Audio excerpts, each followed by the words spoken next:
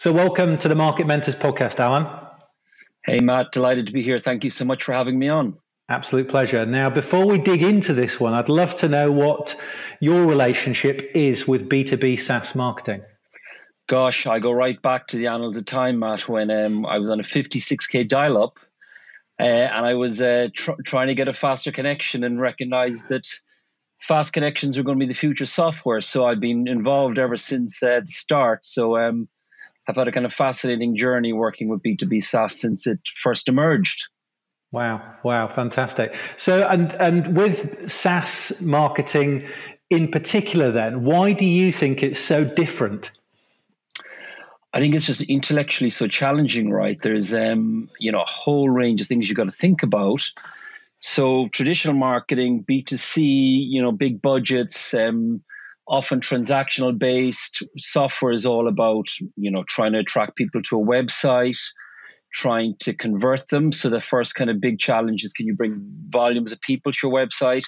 Then can you kind of convince them that there's a merit in what you're offering, getting them to convert, and then you've got to retain them because you've got to kind of fight to retain them to um, to get the longevity. Because I guess what's baked into it is that you kind of de-risk it up front for people, Matt. You're you're really trying to say actually this is a long game, and the unit economics really only work if people stick around for the long haul. So it kind of creates challenges for you at all different um, starts at the junction. And also, it's sort of very fascinating because there are no apples to apples. Much as your listeners would love to have a playbook, you know, it really is very, very nuanced. So there are some of the things that I think make it so fascinating.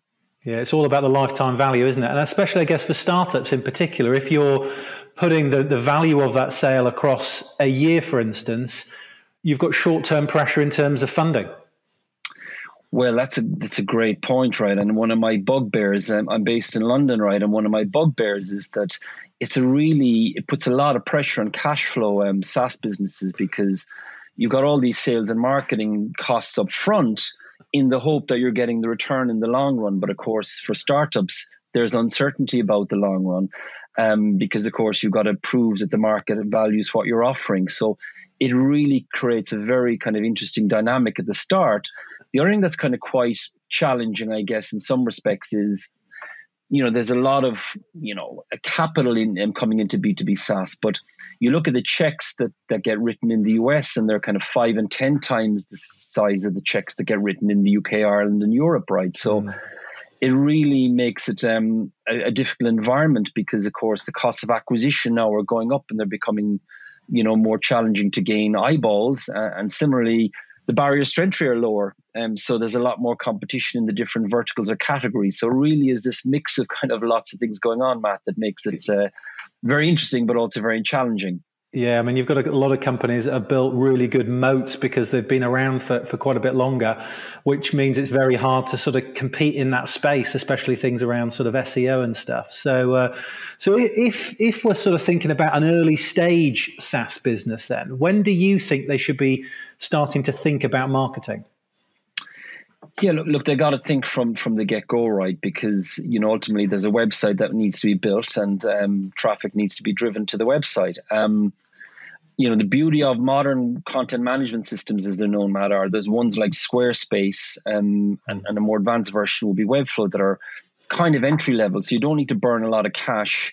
You know, building the most beautiful website, you can sort of get up and running pretty quickly on something like Squarespace, where at least there's a destination that you can send people to where they can kind of learn a little bit about your proposition. Um, the thing that you mentioned earlier is quite important. Longevity really is key, right? So the sooner you get some of these um, bits and pieces into place, the better, because of course, SEO and content is really you know it's very nuanced but it's a long game right so content is is not immediate re- reward but it's a, it's a long game and, and, sort of google values things like domain authority and sort of number of mm. backlinks to a website and the kind of the quality of the content but also the keywords you're writing about so a long-winded answer um, but you got to be thinking it from the start mm. there's another point i, I want to make that i think is, is is is worth sharing with your with your listeners right is that there's a classic mistake most early stage startups make.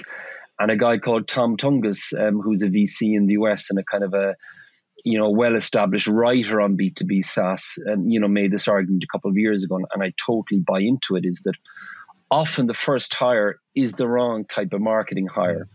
And by that I mean, um, and, and, I laugh when, when you see people looking for growth marketers and the business is six months old, and the kind of the growth marketer piece is kind of saying, "Hey, we really need leads as quickly as possible, and and, and you know we need to be hacking and doing all this sort of stuff." When the reality is, and this is the inherent kind of tension, is that first year you need a product marketer. You, you need somebody that's not under pressure to generate leads because you know the whole point of that that kind of dynamic is that they need to be talking to prospects and what are called ideal customer profiles they got to be in listening mode not selling mode mm. and, and and that's the bit that's really difficult in europe because you're probably under pressure from vcs or a board or the ceo to kind of get cash in the door as quickly as possible mm. but if you try and do it prematurely you know your, your marketing people are, are are not doing it understanding the pain who's got the pain how big is the pain do they understand you know your solution how it potentially fits the need of the pain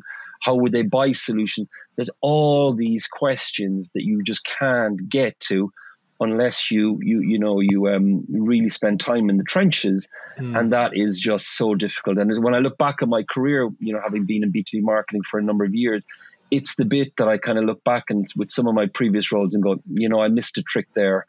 They were pushing me to generate leads. I should have pushed back a little bit and said, look, it's premature. We need to spend more time in the trenches. Yeah, well, marketing then becomes a little bit like spray and pray to a certain degree because, like you say, you don't have the ideal customer in mind. And obviously, the pain points to actually have a really, really targeted sort of message uh, to them. But I mean, how, how early is early then? Are, are, we talking sort of before product market fit then? Are we, are we talking after that's been established? What, yeah, I mean, so, so marketing is, all encompassing, right? It, it, covers like so many different dimensions.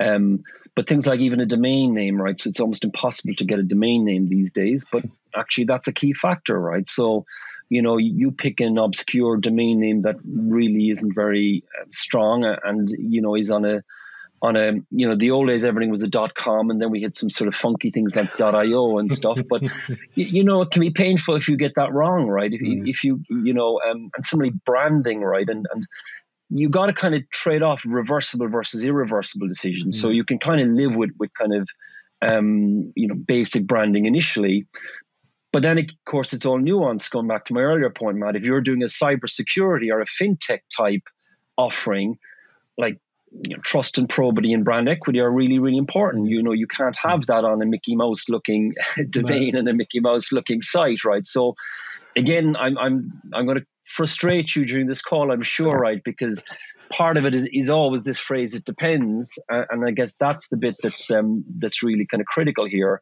You know, you've got to almost look at it as as the lens as to, to what vertical you're in. You know, are you in a in a very competitive market that's mature? or hmm. are you in a, an immature market with a groundbreaking you know new discovery so so it all varies and this is why b2b saas is just so so fascinating right um, but but I think you you got to have the you, you know, often you, you, won't have a marketing founder that that's typical right so most hmm. co-founders you you'll probably have um, a technical co-founder and if not you you kind of should um, you know, you, you, need a tech lead, and then you might have a commercial lead who could be the CEO or they, they could be operations. You, are unlikely to have a marketing, um, you know, you know, lead in the founding team, but you can't neglect marketing too early. And and I, I would advocate, um, you know, recognizing that early on. And if you need to bringing in some, you know, initially you can get freelance support, or you can get a consultancy, or you can get a mm. brand agency do to do things for you. So, so I think you know, and, and the last point, and I'm and I'm laughing as I say it, right, is again it depends, right? Obviously, if you've raised a check, you know, of, of, four or five million, that's a very different context than if you're bootstrapping in the early days. Yeah, makes sense. Makes sense. So imagine this scenario then. You're um, we've got a company that's perhaps it understands its um, ICP. Um, it's really clear on its the personas it's targeting. Uh, and now, and perhaps they've run some sort of product market fit surveys, and they're coming back sort of pretty positively. So now it is the sort of time to to perhaps put the gas on sort of outreach and sort of you know generating those leads. What sort of marketeer would you suggest they hire then as a sort of first time, full time Uh, sorry, first in full time marketer. Yeah, look, it's a great question, and sort of this notion of product market fit actually is is being challenged a little bit now as as to kind of exactly um, does it really exist, right? And, and how mm. can hmm. you measure it? And sort of, and I've written actually about it because I think it is an interesting inflection point. But but I guess what what I would take from it is that um, you know as soon as you're starting to get traction, which is probably a, a, a different way of looking at it, and by traction I mean you know decent volumes of inbounds um, coming into your inbox and people genuinely interested in having a conversation. Um, I think then you, you you know you're looking at what I would deem a Jack or Jill of all trades. Mm. Right, that's that's the kind of um, way I would describe the candidate. Um, and it's a difficult hire. Again, again, looking at UK and Ireland, you know, SaaS is still relatively you, you know new, and and the sort of we haven't had you know 50 years of b2b saas right? I go back to remembering the 56k dial-up analogy right? I remember those days. I, I sold software in boxes. I sold software in retail stores. Mm. Um, and I'm not that old, so you know it's, it's still a, a, relatively young young kind of industry, yeah. and we haven't you know it takes in most instances probably ten or fifteen years to kind of to, to get to kind of a, a liquidity event, be an exit or, or, whatever. So we don't have huge volumes of these candidates in Europe, but mm. um, this Jack or Jill of all trades would be would be what I would would be hiring. Mm. Um, I mean, I like this nuance of B2B instead of B2C because I think that's an important distinction because you, you you'll find it very difficult to get someone that's ticking B2B mm. plus SaaS plus mm. marketing and, and certainly not in your industry. So you're going to be conceding on loads of those. But I think if they don't know B2B, you run the risk of um, a B2C playbook, which becomes then full of energy, full of Instagram, full of kind of um, uh, Snapchat, right, which is not not what you need for B two B, right, and and mm. sort of. Um, so I think that's the key. The Jack or Jill of all trades that have got a bias for action, yeah. you know, high octane, high energy, willing to get stuff done. You know, don't need to be going to the CEO for everything. They can act autonomously because that's the other point. The CEO isn't going to have the answers, and then right. you need someone that can work fairly autonomously and that can recognize. Uh, you, you know, um, uh, like what's a reversible decision and what's an irreversible decision, you know, and sort of. Um, but but I'm interested in your views, right? What I mean, you're also hiring actively in the market, so.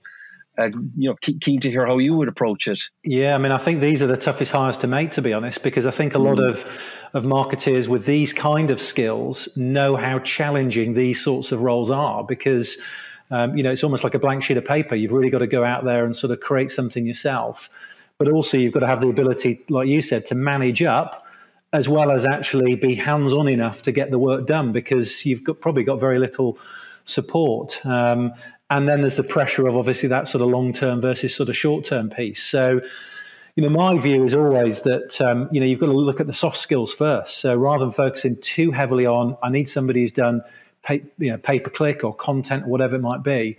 Focus on those soft skills because actually you don't necessarily know what your channels are going to be. Um, this marketeer is going to start to come in and sort of hopefully identify maybe two or three channels that, that are going to give you a return and start to build on it from there. So I think sometimes companies get a bit too um, focused on um, the, the, the, actual hard skills, the knowledge in certain channels, rather than actually focusing on that. Has this person got the ability to actually do the many things within this kind of job the strategic piece the tactical piece the budget management the actual the data the creative you know it's a it's an all-encompassing role really and you touched on it perfectly there are more SaaS businesses now than there ever are, and they're growing year on year. But that pool of, of, of talent isn't really growing that much. So, you know, how do you find somebody who's already got the skills and who's already been there, who wants to just go and do it again for a another business. You know, there's so many exciting SaaS businesses out there. So I think the smartest companies are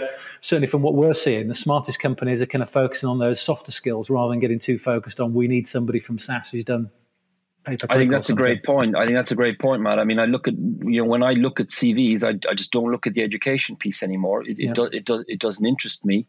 Um, I, I, do look at things like trying to unpack things like resilience, right? Because yeah. here's the point that, that yeah. you've actually made very well, right, which I think is worth looking on is that you're dealing with profound uncertainty. Yeah. So this notion that you can write a brief that's saying they're going to be doing this and this and this, you know, I find it really challenging, right, to, to write OKRs and performance management people into these early stage roles because yeah. you come in the door and within within a month the thing's completely turned on its head, right? So I, I, think you you're, you're right. The key really is to focus on adaptability, mm-hmm. bias for action, resilience. You know, getting stuff done, which is sort of similar. Mm-hmm. They're the bits that um, I, I think are really key. Mm. And without putting you on the spot, I mean, I'd love your views on how you kind of unpack those in an interview because they're the bits that I kind of find, you know, um, when I go interviews, they're the bits that I really need to try and unpack. And I probably sometimes feel I'm, I'm not well equipped to kind of you, you know, unpack. Um, yes. You know, is there a bias for action? Do they get stuff done? Are they yeah. going to be resilient? Are they going to be adaptable? Yeah, because yeah. they don't have the track record. So you're you're trying to unpack. It. I mean, I, I, don't know. Have you any ideas as to how you? Would well, I think that's yeah. I mean, I think it's, it's a difficult one. It is a difficult one. I think recruiting people will always be a bit of a risk, but I think mm. it's more around the sort of questions that you're going to ask. You know, give me an example of a time when you did something give me an example, especially with, with sort of SaaS startups, give me a time when you faced uncertainty in your role and the strategy changed. You know, what happened? What did you do? How did you handle it? What did you learn from it? So I think it's perhaps asking some of those questions to the candidate. I think then on the flip side, it's making sure that you're referencing people um, externally um, who have worked with these, you know, worked with candidates to, to get a, a, view from their side, and then also, I think it's sort of giving a, a task to a marketeer at a later stage. Look, here's a here's a real problem within our business that we're looking to solve. You don't want to be too ambiguous about it because you don't want people going off on tangents. But here's a real problem. How would you fix it? And it's not that you're necessarily looking for them to come up with the perfect answer, but you're just looking for them to come up with something that's logical, something that kind of makes sense. Um, and I think by piecing all those sort of three things together you'll get a sense of whether or not this person is is right. But then also, I think there needs to be a little bit more support for these people when they go into businesses as well. So rather than it being sort of really short term, right? Hang on, the leads are dropping, the pipelines uh, dropping a bit. You know what's happening. The CEO and the senior management team, the board, the leadership team need to also then give a little bit of breathing room to these marketeers because these roles are are you know challenging and as you said, you know, invariably the strategy is going to change a little bit at times. So, you know, I think there needs to be sort of balance on on both sides. But I think by covering those three areas, I think you'll perhaps narrow down a little bit more on on on these sorts of people. Um, Couldn't your- agree more. Yeah, I mean, just to unpack a couple of those points, you know, we're, we're just kind of sharing a couple of ideas. So it's competency based. Totally agree. Any anybody I bring through, I, I get them to do a Loom video so I use Loom a lot, but I get, you know, critique the website in 15 minutes. I want to hear you, you yeah. know, if, if, we want to grow traffic or grow leads, give me a 15 minute Loom video. And yeah. um, the other thing is I look for the digital footprint, which I think is, you know, and it, the number of people I interview that are, oh, I'm brilliant at, you know, writing. Okay, well, re- great. Yeah, yeah, I'm really, really good at writing. Hmm. Okay. Mm and where's the evidence right so like you hmm. know if you're in marketing you, or sales right you should have a digital yeah. footprint i mean there was one person senior salesperson i couldn't find them on linkedin and that was enough for me to go you know what that's a risk i'm not willing to take because yeah. for me yeah. you should have a digital footprint if you're in you know in marketing and sales even if you're very junior right you should have at least a basic LinkedIn account that's got some content up there um, and, and, you know, write, okay? Because yeah. marketing includes the ability to write. So yeah. you don't have to be writing War and Peace, right? But you can certainly have a couple of blogs on, on Medium or something that just demonstrates yeah. evidence, right, of, of ability rather than sort of um, trying to unpack it in an interview. Yeah, and I think those sort of challenges should should be exciting to the right sort of marketeer because you should have an opinion on something. You know, when you come to a website, generally, as I think as a B2B marketeer, you should be formulating a, an opinion on that uh, on that website. So I think sort of sharing that sort of stuff should be quite exciting to to, to marketeers. Well, well, absolutely, Matt. And just kind of picking up on the other point, I think CEOs and, and board and so on need to be more um, patient, which yeah. again is the point you made earlier, because it's very easy to decide to churn a marketer out after a year, right? And that's mm. often the case, right? The, the kind of mm. The tenure of people in marketing is, you know, particularly in, in Europe, is probably one or two years. It's not five or five or longer, right? And yeah. um, there are exceptions, of course, but but there's often a you know we're not hitting our leads, right? And it's kind of and there's this dance that goes on between product and sales and marketing, right? So mm. marketing are probably not happy that the product's got enough compelling features to make it um, stand out in terms of positioning it in the marketplace. Sales aren't happy with the lead volume or quality you you kind of have this dance right but mm-hmm. you know part of it is trying to be patient because if you exit someone you know and i've had this with with kind of leadership trying to exit someone and, and i can see it's been exit, exited prematurely and, and then you're looking to try and go into a very challenging market to hire mm. and someone spent a year building up their domain expertise you, you've now lost them on, on kind of trumped up grounds that the lead velocity wasn't aligning with your business plan trajectory that secured your funding at the start. Yeah. And um, you, know, it's uh, you know, it, it's sort of a, it's an exit route for someone that actually hasn't done anything wrong, and then yeah. you're you're back to square one trying to bring in somebody that doesn't know the industry and has to go through all that learning again. Yeah. So there's some of the things that I, I, kind of spot that just keep repeating, right? Yeah, you get into a tough cycle, don't you? Really. So, uh, I mean, Alan, you've in your career, you, you, you know, at the moment, you help uh, sort of early stage SaaS business or SaaS businesses generally with their uh, with their marketing. But when you sort of go into these business, how do you sort of prioritize what to do given the sort of the, almost the resources and the time are against you a bit? That is really a great question, and that's the one that I think if there's one thing, prioritization is the big challenge, right? Because you're getting you're getting hit at it from all angles, right? So, you know, salespeople need collateral, they need localized content in some instances. You know, CEO wants this or that. Um, you know, again, you, you tend to get a lot of interference in marketing from different sort of functions. Um, and of course, everyone wants this hockey stick, you know, up to the top right, significant growth and month on month, uh, you, you, know, fantastic growth, right? And, and it's really, really challenging because, um, and you know, there are tools you can use, right? So I typically will use a Trello or a teamwork type application or Asana to, to kind of manage priorities. But part of it is managing stakeholder expectations mm. because you know, the wish list for marketing functions are, are ever long and ever growing. And, I'm often looking around the room with, some of my early stage startups, and this could be, you know, people that are at three, five million revenue even or, have have raised checks, right? And hmm. it's not like I have a team of five or ten, you know, and, and, and in many instances you, you you may have one Jack or Jill of all trades, followed by somebody that maybe had been hired prior to you joining, right? And they could be a hmm. graphic designer or they could be someone else. So it's really challenging the prioritization piece. Um, I, I, still struggle with it if, if I'm honest. I, I, think it's um, you know because there's so many um, competing demands in your time, and you know I, I, guess there's a couple of things that, that I try and do. So I try and I, had a story recently, right, whereby classic one where a sales guy drops a head around the door. You know, just be talking to some VCs. We haven't been doing any webinars. You know, you know, why haven't we been doing any webinars? And I'm kind of like, okay. And he's asking me to do a webinar. Can we do a webinar next month? So I'm kind of trying to unpack that in my head. And mm. what I'm getting at is like a webinar is, you know, you know, there's one person in the marketing function, and and sort of, you know, like that is a fairly significant amount of time hours. Or if I mm. looked at from start to finish, the amount of hours that you've got to put in to do a webinar from scratch Hmm. But then you get to the point is nobody might show up right because your traffic on your website isn't strong enough to so you've got to pay five or ten grand to partner with somebody. Yeah. So so that's the kind of example of someone that kind of drops in a will we do a webinar, not yeah. really understanding that that's a, that is almost an unreasonable request for a, for a, for an early stage startup.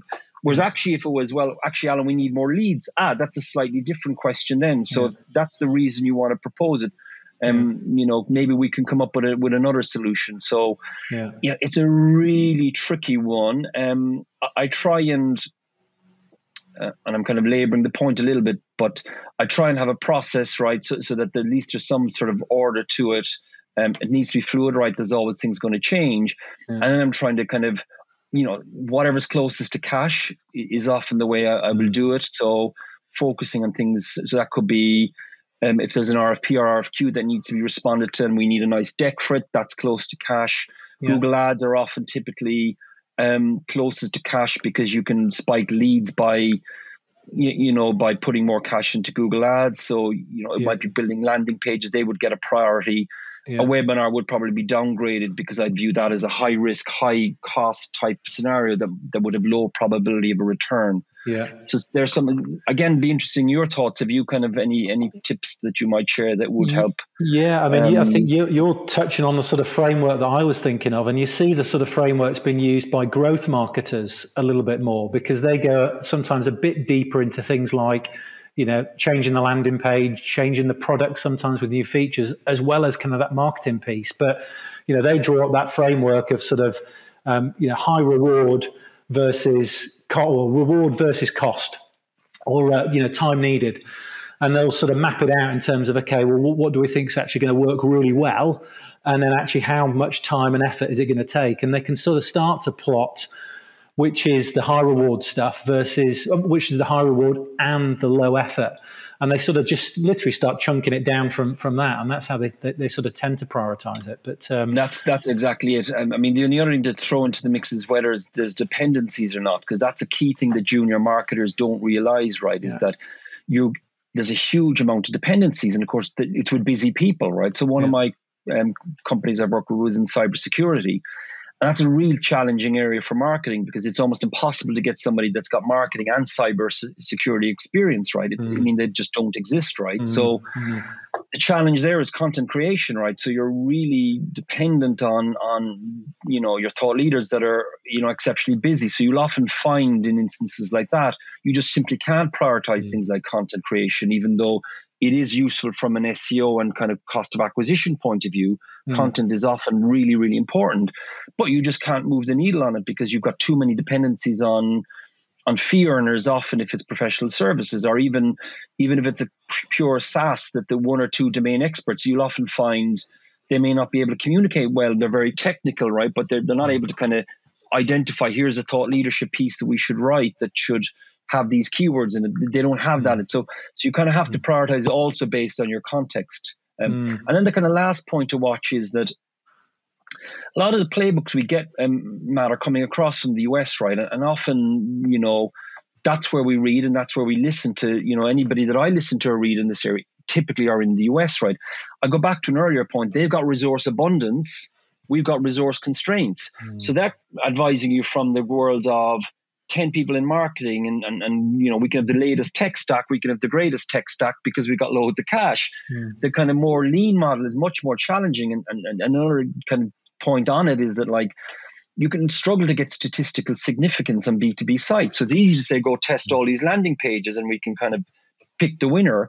You know that's not really that easy on a, on a b2b saas site because you know your traffic volumes are typically quite low mm. um, and then the kind of geeky point to be aware of is that actually most traffic that you see in google analytics is overstated by 30 or 40 percent mm. and you've got to take that off so you might think you've actually got 5000 visits a month the reality is it's probably closer to 2000 yeah. Because why?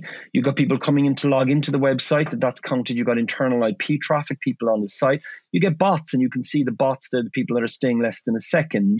Um, so there's all these, you know, things that are kind of making it kind of, you know, tricky to kind of actually test. So yeah. anyway, I'm going off the point a little bit, but uh, I'm expecting you to have eight pairs of hands. I can't see with all this stuff you're doing. so, what about from a sort of um, a, a, tactical perspective? Um, you know, you talked earlier about playbooks, and, and there isn't necessarily a playbook, but what sort of strategies do you tend to to use, or what tactics do you tend to use to generate leads and awareness for sort of SaaS businesses? Yeah, look, I, I think I have a philosophy of continuous improvement as one. So, so you always got to be looking at kind of, um, you know, trying to improve. So again, I'm very data driven, very kind of conscious of unit economics. So I'm, I'm uh, again, my background, you know, academically is economics and marketing. So I kind of I get to wear two hats and a bit unusual that way. So I think that that's definitely you know one of the elements. Um, I think you, you know there, there's a kind of a real um, sense of there's no silver bullets. It's trying to you, you kind of do lots of different things. Um, some will stick, some some will not. I mean, Google Ads will always play a part, right? Um, when you know your keywords, because you know it's a very powerful tool, right? People are searching for problems they have, hmm. and if you've got got solutions to to um, you know to the problems, you know that will always help with lead gen. But often, Matt, it, it's a real, real mix of of conversations and, and stuff that you do. And look, some of it's measurable, some of it's not, and that's the frustrating piece. So everybody wants perfect attribution. Can we see where all those leads come from so we can repeat the recipe? Mm. Um, you know, often it, it's it's um, it's not as easy as that. And I'll share one example from a few years ago to just kind of illustrate the point. You know, I was working in an early stage um, um, started B2B SaaS that had a phenomenal product, but it was complex. It was it was artificial intelligence, but it was really early days. And we were really struggling to make a breakthrough because you know the academic founder was very technical, very bright guy, but you know we were just our messaging, we, our ability to kind of bring in leads was really compromised by it was just so early, right? And um, I was at an event and I heard a, a speaker, right, and, and and sort of it was the first guy that you know that I heard that was actually talking the same language as, as we were, right, and he was a PhD in economics, and you know I went up to him afterwards, and and I, I just had a little bit of a chat, and, and I made the introduction to the CEO, and it wasn't salesy per se, but it was the first time I recognized actually this is our ideal customer profile. Mm. This guy really knows the space. He's a thought leader. He's cutting edge.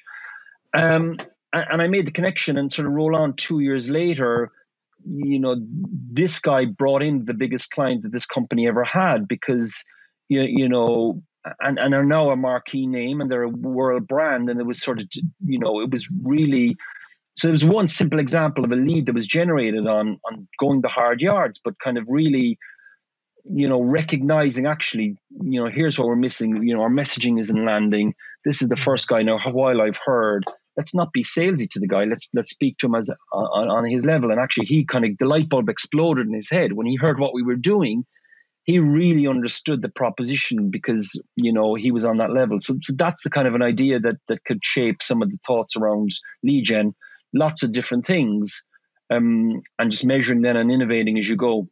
Mm. And I think it's having the ability to to see that kind of information coming in rather than just having the the attitude of let's just execute stuff you're always got to be listening looking for signs signals data that's coming in and that, that sort of conversation is, is a great example of that. So this is probably pertinent to yourself alan then. So once you've sort of found those you know one or two channels that that work then how would you suggest somebody scales output given they probably can't hire full-time employees yeah, look, look, I'm a great believer in, in the kind of freelance um, market, right? And, and I am one myself, right? So I'm a, I'm a consultant to, to a number of different clients. And I think that, you know, there are a huge number now of, you know, talented people that are that are available on the freelance market. The challenge is probably finding them, right? So Upwork, Upwork is probably not the best place for some of these specialists. They tend to be word of mouth, right? They tend to be not on on you know these Upwork channels. Again, if you're budget constrained, Upwork will be fine. But often it's sort of um, word of mouth, or, or, or, you know, there is an ecosystem in places like Dublin, London, Berlin, where there are, you know, I've got an ecosystem, right, a B two B SaaS marketing ecosystem whereby I know if I need a Google Ads guy, I've got my go to guy. If I need a um, visual identity or brand refresh, I, I know I've got my kind of go to person for that. Mm. So messaging, right? There's this phenomenal um, uh, messaging person, right, who helps with B2B SaaS messaging, who's based in New Zealand, right? Mm-hmm. My UI UX guy that I use is based in Thailand. So um, there is a kind of an emerging ecosystem of freelancers that are very specialist. And look, it, it's it's you know very very cost effective because you're not bringing them onto the books as a um, as a full time employee. The other thing is there's a number of kind of marketplaces emerging as well, right? Which are which are you know gaining traction, recognition, and sort of again they're they're not the, the the Upwork model, but they're more dedicated for B two B SaaS. So searching on those again, you know, represent areas that you can can find talent.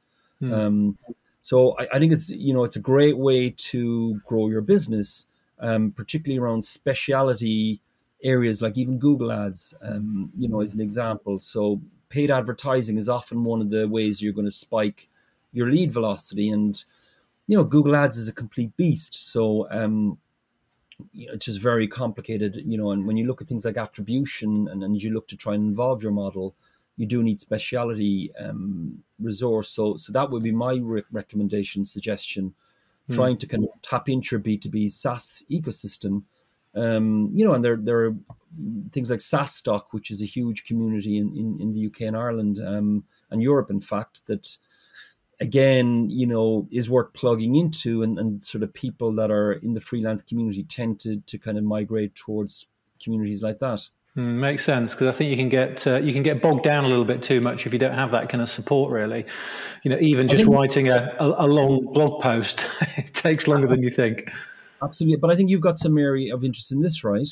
Yes, very much so. Yeah, I mean, we've we've sort of started very early days. Uh, a, a, platform um, and essentially a marketplace which is dedicated to, to, to B2B tech marketeers. So, uh, and that's helping companies either hire full-time employees or freelancers. But but those people have got experience of kind of working in this space because I see it more often than not. You know, you, you've got these sort of emerging businesses, early stage businesses that, that kind of need everything but you know they can't afford to bring in a whole team straight off the bat. So I mean, you touched mm-hmm. on it in terms of funding. You know, they're not raising you know 100 million off the bat. So uh, so it's very hard to actually build that that team from from the get go. So using freelancers, I think, is a, is a great way to be able to scale that kind of stuff. Um, so yeah, well, it is for us.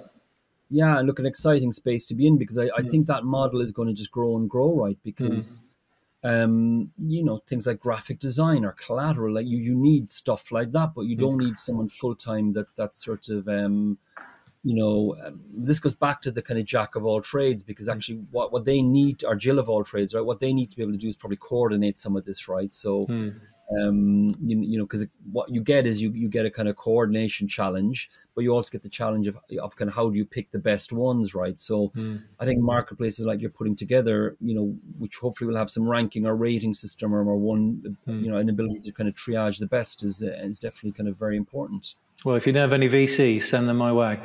We're Definitely. getting towards the end of this one, Alan, so uh, which has been fantastic so far. But w- one last sort of question then what do you see SaaS companies failing? Why, why does marketing typically fail within these businesses? That is a great point. Um, a great question. Um, I could dodge it and blame product, right, and say that the product uh, wasn't compelling enough. But but I think I think there's actually some truth in that, right? In that in that actually it's a holistic view you have to take. You can't really take the silo um, of it. It's, it's rare for one function to kind of to fail in its own right. I think there's a kind of a collective, um, you know, success or failure, right? But I think some things to look at have been touched on right at the start of this call, right? So I think you can, you know, you can try and be, you know, all things to everybody, where you're where you're really just not focused, and it's kind of you know you, you ask who, who your ideal customer profile and it's like it's horizontal it's like every industry and every kind of persona possible you know it's just lacking focus. So what you're doing is you're trying to broaden the market um, because you can't get enough leads in the sector that you're in and all of a sudden your messaging isn't resonating anymore. Um, so, so really i'd argue you got to be as narrow as you can mm-hmm. initially so really tightly narrow. You can always expand afterwards. So, so that's an area that i think is a cause of failure I think, you know, not validating that the the pain exists and kind of really like what one of my you, you know more successful startups that I work with, the, the CEO basically burnt out two iPhones. Right, he was on the phone so much, talking to prospects and listening, and um, and, and sort of that disconnect can happen if you go back to the earlier conversation on marketing having to do so much you know you can get very disconnected from the, the customer pretty early on right? Because you got to fire up landing pages and you got to fire up google ads and you got to write content and it just feels you don't have time to be spending it in the trenches talking to people. So that that's the bit that i think is is also um um you know key that you're like you can be very disconnected from the front line. So i'm always kind of a very strong advocate of sales and customer support saying guys we need a strong feedback mechanism you know we really need so, so i've got with most of my clients if there's a slack which will often be used i've got literally channels in there where sales put in there's one channel to keywords right? So what are the phrases people are using on calls? And every so often i'll get a keyword dropped in and i'll research and go okay you know there's a pattern here. A lot of people are using this keyword. We were never really talking about this keyword on our website. Let's go and write some content on it. Are feature requests. What what are the features that people are putting in when they're asking, um, you know, to use our service, and I feed that back to product. So I think that you know operating in silos is, is one of the things, but also this sort of you're all in it together, and I think that this kind of particularly when we're all remote, you've got to almost dial up the communication between the different elements because you know you're disconnected from the customer in, in, these modern businesses and that's a very dangerous place to be so that's kind of my my area i think that there is a, is often of, of falling down well i really like that answer because in a way that's kind of the unglamorous foundational aspects really isn't it you know it's really exciting to go and build a new website and you know do some new messaging and you know do some paid ads and stuff like that but actually the fundamental stuff is is you know, it's it's it's so important. Um, so it's a it's a really good answer. If people want to reach you, Alan, what's the best way of them getting hold of you? Yeah, best way is um, my website is workwithagility.com. So workwithagility.com. Um, lots of blogs and extra resources on there if people want to um, to read any of the stuff that I've written. Perfect. Well, I've really enjoyed this conversation. I'm not sure what your title is, but it should also perhaps be magician as well with, with everything that you have to do on a day to day basis. So uh, I really appreciate you sharing your, uh, your insights with our audience. Thanks so much. Listen, really great chatting to you and uh, appreciate the opportunity. Great stuff. Thank you.